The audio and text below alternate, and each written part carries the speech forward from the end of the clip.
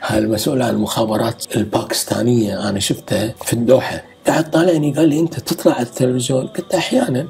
كان يقول لا لا أنت أنا عارفك هو مال المخابرات الباكستانية. قلت إي أنا عبد الله النفيسي خير قمنا نسولف. كان يقول له شو أخبار الأمريكان في أفغانستان؟ أنت رجل مخابرات يعني. قال في أسوأ أحوالهم. ولله الحمد. يقول. قلت إيش دراك؟ قال هذيلا مو soldiers يقول. هذيلا أنا أسميهم chocolate cream soldiers يعني لو ما عنده هالتقنية المتقدمة مو قد الحرب في افغانستان ما عنده روح مقاتل. ماكو.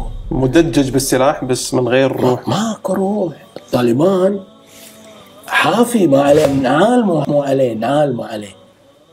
وحاط هذه الكمبل هذا اللي على كتفه وبيده الكلاش ويطمر من جبل لجبل وغداه وعشاء الخبز هذا البربري وجبن الماعز كله اورجانيك من أحلى ما يكون.